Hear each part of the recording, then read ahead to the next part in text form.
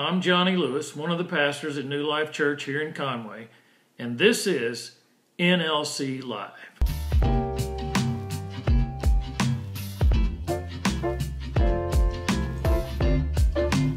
Today we're going to focus on five verses right at the beginning of the book of John.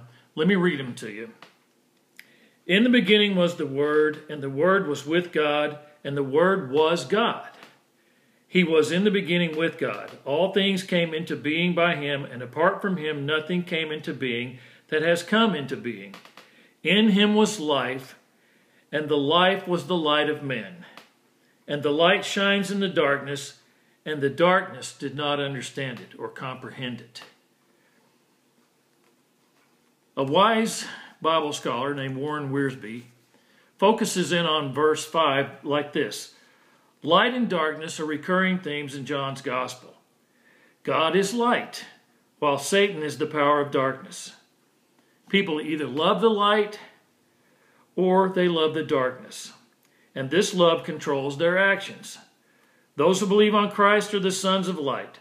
Just as the first creation begins with, Let there be light, so the new creation begins with the entrance of the light into the heart of the believer.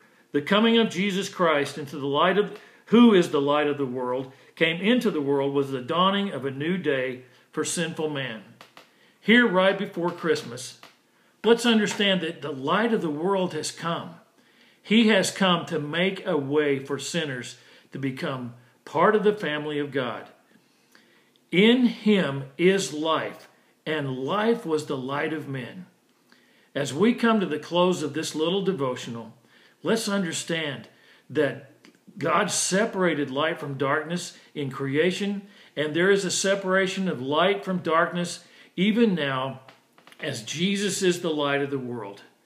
Let's pray together. Father, we come to you acknowledging that you sent your Son Jesus to be the light of the world, to light our way back to you. So, Father, I ask that you would help us to understand that there is light around us and that He is Jesus Christ. In Him we move and we find our being. And it's in His name we pray. Amen.